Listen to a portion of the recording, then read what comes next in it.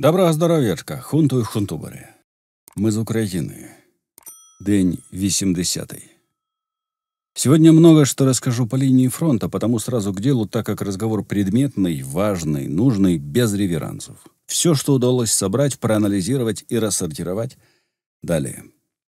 Командование войск противника с упорством, достойным явно лучшего применения, к примеру, постройки себе новой дачи, продолжает настойчиво проводить наступательную оперативно-тактическую операцию с уже вполне четкой, я бы даже сказал, выпукло обозначенной целью – окружить и разгромить часть группировки Объединенных сил ЗСУ в Луганской области. Попутно противник стремится нанести поражение всей группировке ОС, а также обеспечить военным способом, среди прочего, выход собственных войск на административные границы Донецкой и Луганской областей Украины.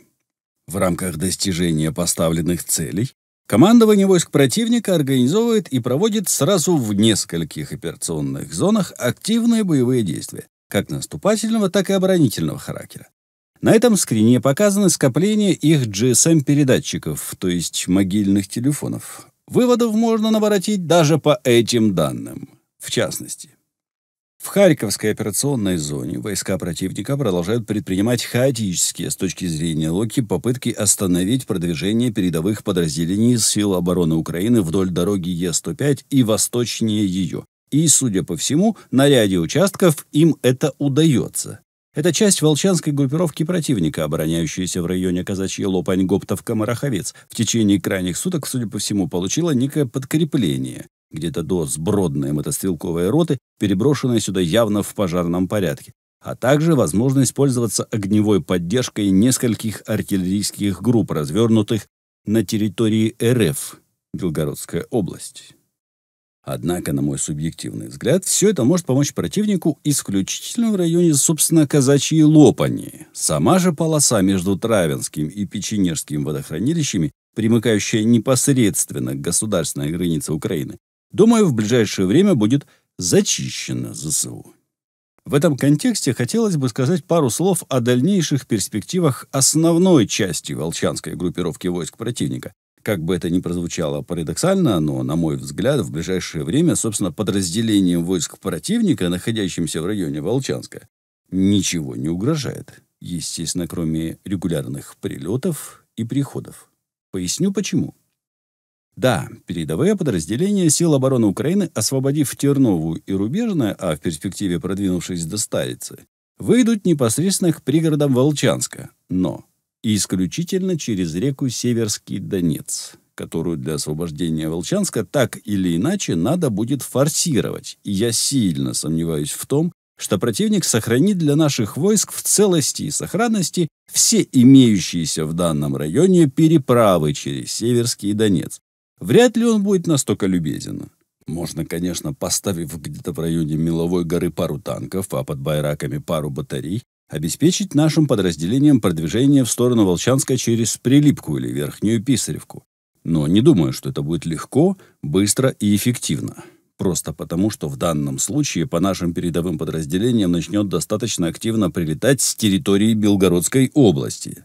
Поэтому с Волчанской группировкой, думаю, будут разбираться другим способом. Каким? Не скажу, но явно не тем, о котором задумались в штабах противника. По крайней мере, переброска его командованием наспех сколоченных блокирующих переправы БТГРов в район Гондаревки и Аркушина в этом отношении абсолютно лишена смысла. Со стороны выглядит так, что противника дохера лишних резервов, которые можно смело бросать во всякие второразрядные дырки и удерживать их там довольно длительное время, аж до полной пакетизации. Южнее войска противника в районе Волохов-Яр-Балаклея, а также тактическая группа у Шевченкова явно очень внимательно отслеживают Чугуевскую группу сил обороны Украины, априори подозревая ее в предосудительных намерениях касаемо тылов и коммуникации своей изюмской группировки. Ну, тут как бы все понятно. Если украинские войска тут решат взять на излом противника, двинувшись в сторону Купенска, проламывая вражьи позиции через тоже Шевченкова, то не поздоровится всему правому флангу изюмской группировки, я бы даже сказал, не только правому флангу, а и всей изюмской банде, включая тамошних коллаборантов. Ну, то такое, политическое. В самой зоне самых активных боев этой войны происходят достаточно яркие и очевидные вещи, которые свидетельствуют о том, что реализация огрызка малого Сатурна, в которой по своей сути и вылилась вся эта широко разрекламированная Донбасская дуга, командованием войск противника протекает, мягко говоря, со значительными странностями и несоответствиями. Честно говоря, в течение последних трех дней мне вообще кажется, что командование войск противника закинуло куда-то в чулан весь свой план по освобождению ДНР-ЛНР и импровизирует ну просто на ходу. Ничем иным объяснить, например, метаморфозы, происходящие с изюмской группировкой войск противника, я не могу. Во-первых, прямо посреди очень цельного и целесообразного наступления на Барвенкова эта атара остановилась и начала некую маловменяемую перегруппировку и перенацеливание прямо на Славянск через Давхенько и Краснополье. В принципе, это еще можно было бы понять. В тот момент у противника обозначился успех у Заречного. Его стоило развить и углубить, что, собственно, потом и произошло. Удар на Славянск и Святогорск со стороны Изюма вполне очевидно помогал группе войск противника, прорвавшейся к Заречному, прорываться и дальше, к Лиману, Ямполю и вообще к Северскому Донцу и двигать дальше, к Северску.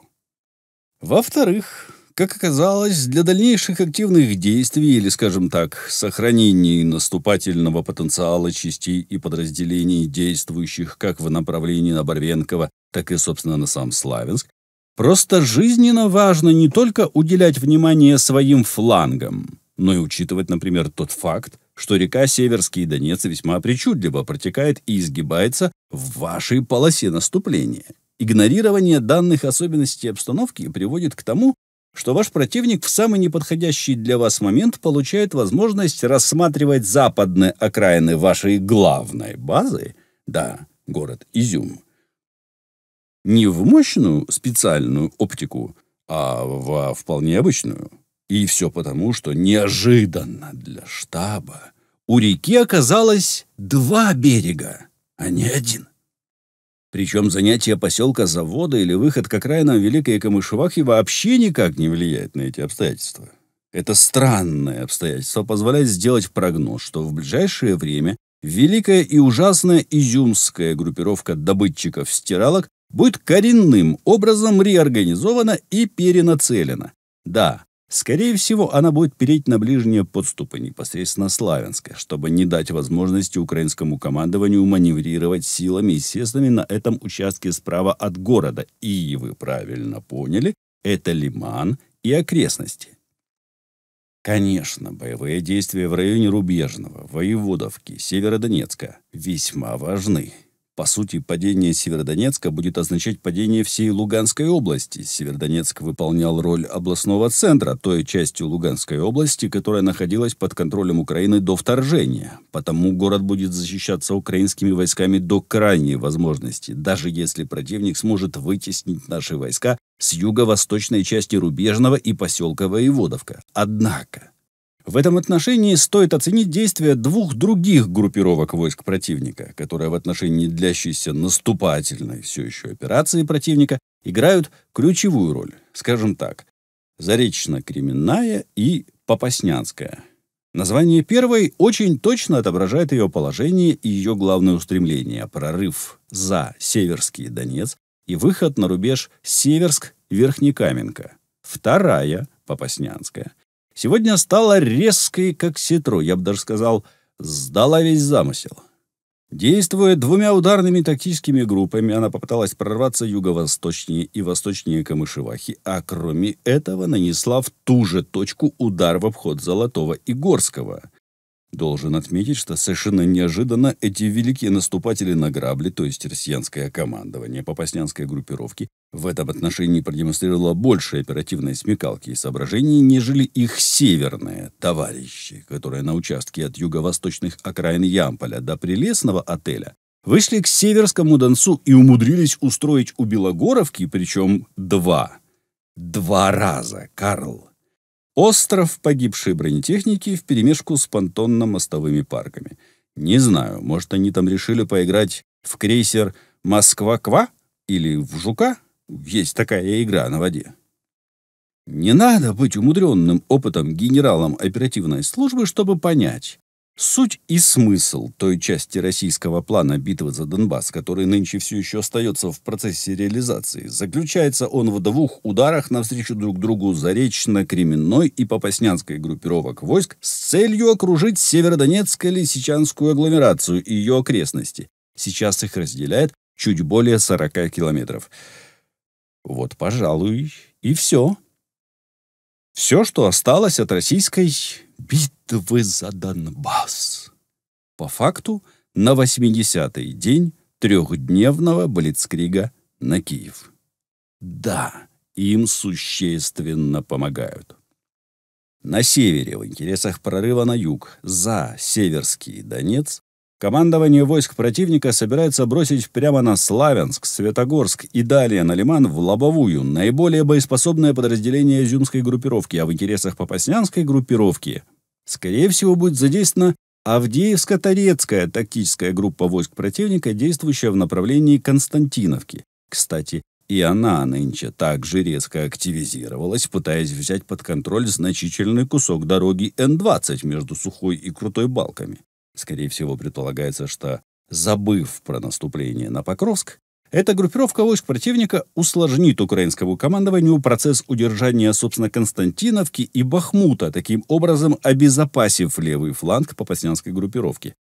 Надо понимать, заставив ЗСУ вместо подрезания попаснянской группировки, уходящей на север, держать предназначенные для этого силы и средства в районе Константиновка-Бахмут. Задумано неплохо, признаю, но осуществимо отрицательно.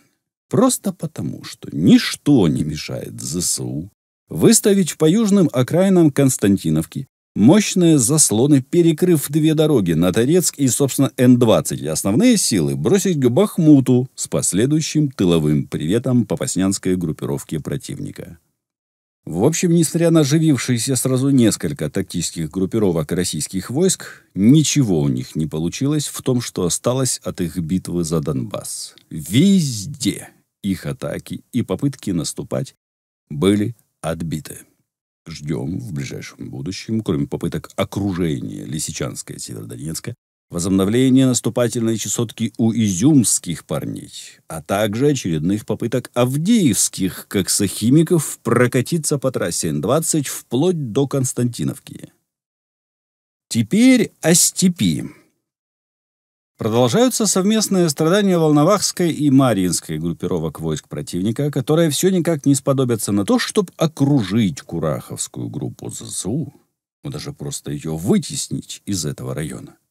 Практически круглосуточные, массированные артобстрелы, перемежаемые попытками штурмовать украинские долговременные оборонительные сооружения ни к чему другому, нежели объемному затариванию рефрижераторов, не приводят командующие на этом участке россиянские командиры продолжают демонстрировать в сравнении со своими коллегами на других участках просто-таки выдающуюся лавровность. Нет, серьезно.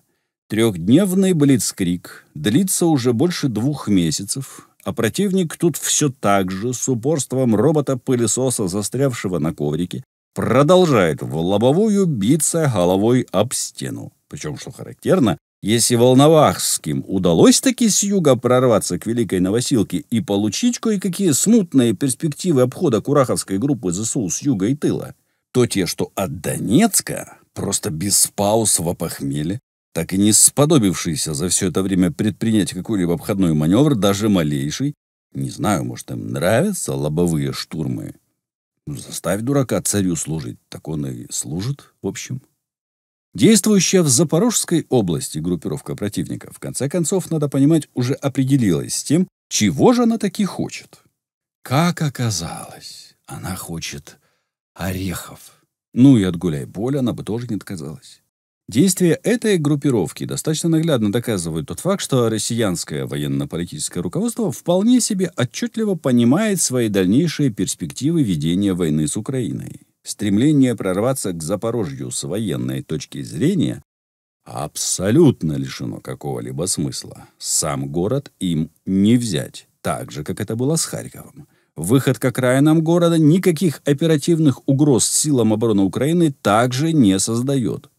Единственный смысл прорыва к Хортице запорожской группировки появится лишь тогда, когда таскающие на Херсонско-Береславском плацдарме втихаря к Трудолюбовке свои снаряды гасители кредитов за телеки смогут прорваться к Никополю. Но на сегодняшний день это исключительно фантастический расклад. Любое продвижение вперед, что херсонским, что запорожским, даже на один километр дается им с великим трудом и с великими же потерями, поэтому предполагать, что они наверняка встретятся в Запорожье, это все равно, что верить, ну, к примеру, в то, что Путин пьет воду из лужи. А пока же устремления запорожской группировки после позавчерашних метаний в конце концов сосредоточились на дороге Васильевка-Орехов и, собственно, городе Орехов. А также были немного разбавлены похотливыми взглядами, которые командование этой группировки продолжает бросать в сторону гуляй-поля. Ближайшие планы этих ослабонителей вполне очевидны.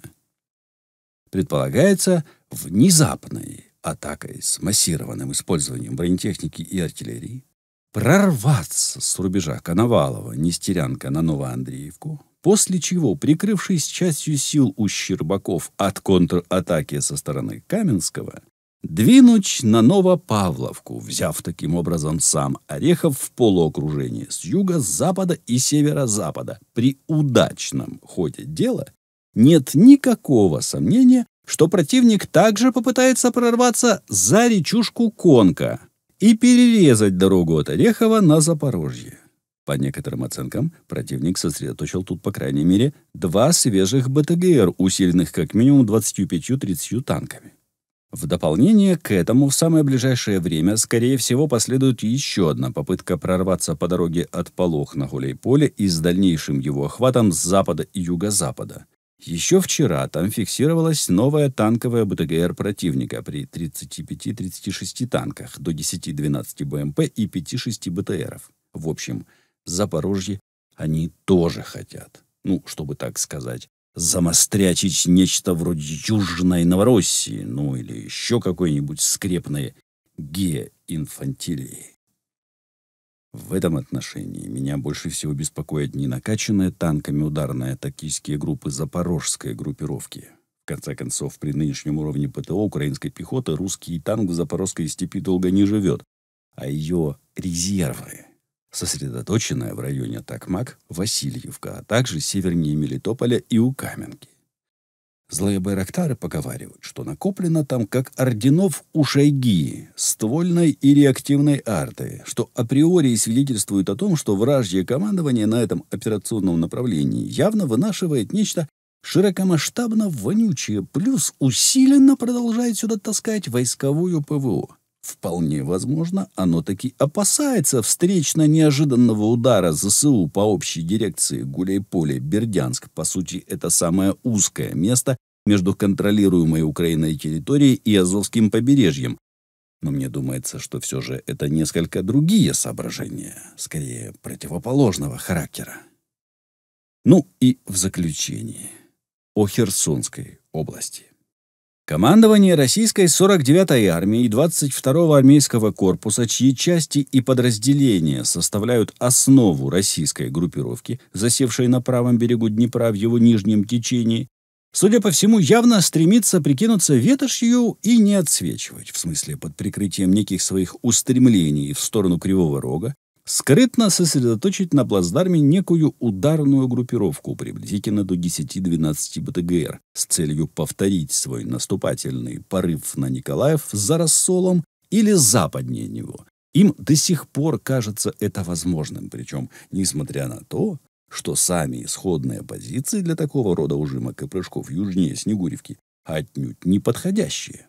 Ни в плане удобства, ни в плане обеспечения даже тактической внезапности, не говоря уже про обилие растительных каналов и прочих гидротехнических сооружений, которые тут находятся в изобилии, которые только сами по себе и по умолчанию будут весьма существенно тормозить наступающих. И тем не менее, командование этой группировки с упорством Макрона, звонящего Путину, продолжает таскать сюда дополнительные запасы боеприпасов, топлива и прочих предметов МТС, которые с завидной регулярностью разносит в хлам украинская артиллерия, имеющая возможность, образно говоря, ландшафтно облагораживать весь этот плацдарм перекрестно. Сосредоточить и развернуть эту самую ударную группировку на противоположном берегу Днепра, а потом ввести ее на плацдарм в самый последний момент перед возобновлением своего наступления, им почему-то не приходит в голову. В принципе, я, конечно, догадываюсь, почему так происходит, но тут лучше промолчать, чем подсказать. Тем более, что в этой операционной зоне пару дней назад была зафиксирована попытка россиянского командования подтащить к Днепру понтонно-переправочные средства. Что говорит о том, что командованию войск противника на данном направлении явно не хватает пропускных мощностей уже существующих тут двух мостов. Или же будет не хватать в обозримой перспективе. Вообще же следует заметить, что в плане возобновления наступления противника, например, в сторону Николаева и Одессы, имеющийся у него плацдарм, мягко скажем, неудобный тем более находящиеся в 20-25 километрах от Херсона украинские войска, явно и очевидно вполне готовы к такому развитию событий. Это тем более справедливо, что никто штурмовать в лоб Херсон или его предместье в ЗСУ не будет. Зато вот расчленить сам плацдарм для начала на две части вполне реально. Особенно учитывая тот факт, что командование войск противника, даже несмотря на оперативное и тактическое неудобство целого ряда занимаемых ими позиций и рубежей, стремится любой ценой удерживать территорию Херсонской области. Резюмируем. На мой предосудительный взгляд, мы близки к так называемому затуханию большого наступления противника на Донбассе. Это, правда, вовсе не означает, что он не попробует снова – стягивание сил со стороны Беларуси в направлении Чернигова и со стороны Сум указывает нам на то, что не все отвлекающие маневры лаптеносцами еще использованы, и не все планы отошли в раздел «Тону его нафиг». Но участившиеся его перегруппировки и оперативная пауза, которая становится все продолжительнее и продолжительнее, свидетельствуют, по крайней мере, о том, что у противника трещат все его длинные планы, и призрак третьей фазы уже замаячил перед ним во весь свой неприглядный вид. Проблема для Кремля заключается в этом контексте в том, что шансы на успех в третьей фазе трехдневного блицкрига у него не больше, нежели в первой и во второй. Для того, чтобы у него получилось, ему надо усадить руководство Украины за стол переговоров на выгодных Кремлю условиях, а оно пока напрочь отказывается это делать и даже слышать о чем-то Минска-подобном, несмотря на прозрачные намеки европейских друзей бункерного светоча Плешью, не желает. И понятно почему. Для этого надо хоть где-то и хоть как-то разгромить ЗСУ, причем не в телевизоре, устами трясущего погонами Канашенкова, а в реальности. А вот это-то и не получается как-то не громятся ЗСУ. Просто вот совсем отказываются громиться и разваливаться. Прям беда-беда, огорчение. И за это они нам мстят. Мстят, громя Азовсталь и не соглашаясь на предложение всего цивилизованного мира по спасению людей оттуда. Мстят, вывозя или просто сжигая украинский хлеб. И эта месть их и сожрет. Не без помощи, конечно, всего мира, волонтеров і ЗСУ. Слава Україні! Бережіть себе, ставте вподобайки та ставайте донаторами пенса. Тицяйте в червону пімпочку внизу під роликом, щоб стала сіренькою, а потім тицяйте дзвоник поруч. За можливості підтримати канал фінансово, надсилайте донати з будь-якої картки і валюти світу. Частину всього прибутку від каналу пенс направить на перемогу. Тож перегляд, донат, репост і коментар це ваш внесок у перемогу України.